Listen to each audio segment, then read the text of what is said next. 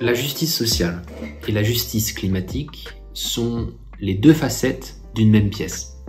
On ne pourra pas réduire nos émissions de carbone jusqu'à 0 tonnes en 2050 si on n'arrive pas en même temps à développer de nouveaux modèles de partage des richesses. On l'a vu très clairement au cours des dernières années dans de nombreux pays.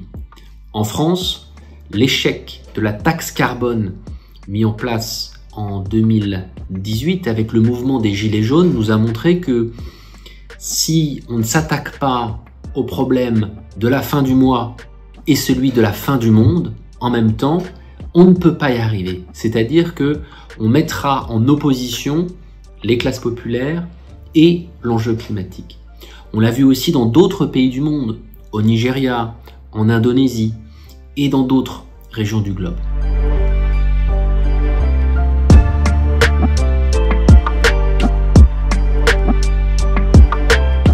Ce que je montre dans ce livre, c'est qu'il est possible de dépasser cette opposition entre le social et l'environnement.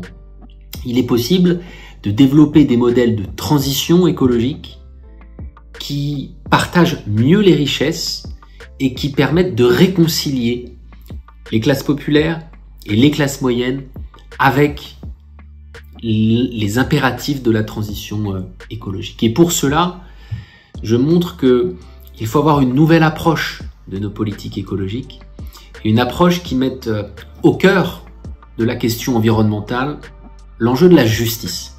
Sans justice sociale, il ne, il ne peut pas y avoir de transition énergétique.